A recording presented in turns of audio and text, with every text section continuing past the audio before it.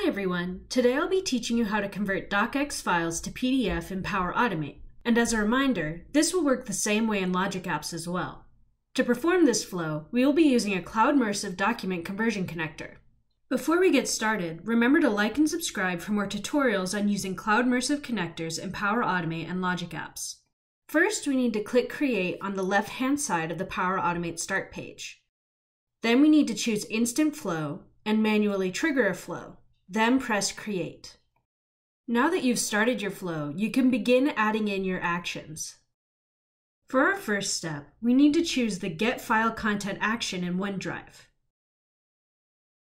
Then choose the file for the Word document that you'd like to convert. Once you've done this, we can add in our conversion connector. For our Cloudmersive document conversion connector, you need to choose the Convert Word DocX document to PDF action.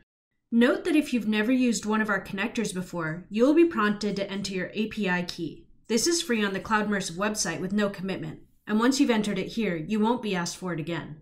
For our input file, we will be adding in the file content from the previous action.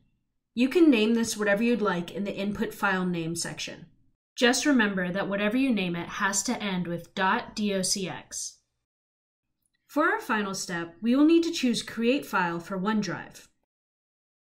Then choose your desired folder path and a file name ending in .pdf. Our file content will be the output content from our document conversion action. Now we can save our flow and test it. In the upper right-hand corner, click Test. Choose the option for performing the trigger action and then press Test. Click Run Flow and then Done. After clicking Done, you will see green check marks next to all of the connectors showing that the flow worked. Sometimes it takes a second or two for all of the check marks to appear, so don't stress if that happens to you. If your flow doesn't work for some reason, check to make sure your original input file was valid for the connector, meaning it was a docx file, and that the names you chose for your files throughout the flow were followed by their file type such as .docx and .pdf. Now you can check your chosen folder for your newly converted PDF document. Thank you so much for watching, and be sure to subscribe and check back in for more tutorials and tips on using Cloudmersive connectors in Power Automate.